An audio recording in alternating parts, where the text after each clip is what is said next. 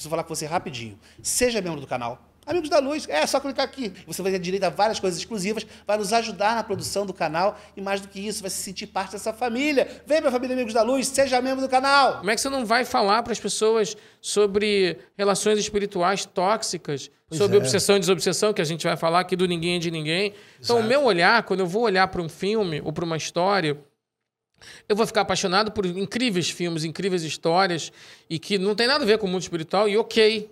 Uhum. É A questão é: será que eu gostaria de passar cinco anos da minha vida de doar met- metade da minha- do meu ectoplasma, falando assim, nesse projeto? Talvez algumas coisas sim. Eu sou apaixonado por um filme do, do Jim Carrey que chama O Show de Truman. Ah, eu também adoro. Eu sou apaixonado pelo Blade Runner. Uhum. São filmes que eu falo assim, nossa, eu adoraria ter feito.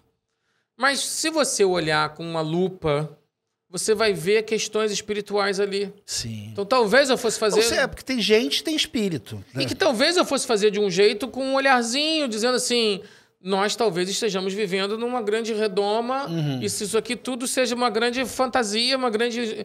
A matéria, uma grande ilusão, e o que, que tem depois da matéria? Exatamente. Que é o, o- o personagem do Truman, né? Que passa isso, né?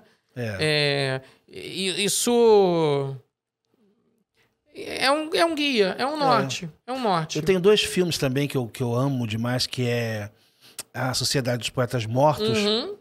e A Cor Púrpura. Amo, Uhum. acho lindíssimo Não, também. filme tem- É, são, são, não tem nada de espiritismo, mas tem, porque é, é, são os dramas humanos, Aí né? que tá, o genial é isso. Por isso que eu não gosto do termo filme espírita. É, eu também que não. eu digo, gente, não, espiritismo não é gênero de cinema. Ah, é. Espiritismo é um, um manancial de conhecimento, você pode aplicar em qualquer filme.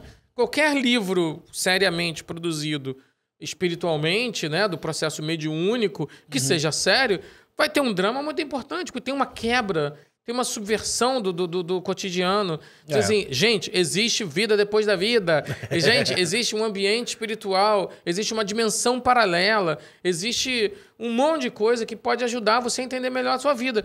Minha mulher. Minha mulher! Eu não sou sua! Fica em casa! Eu não sou sua! Você não é meu dono!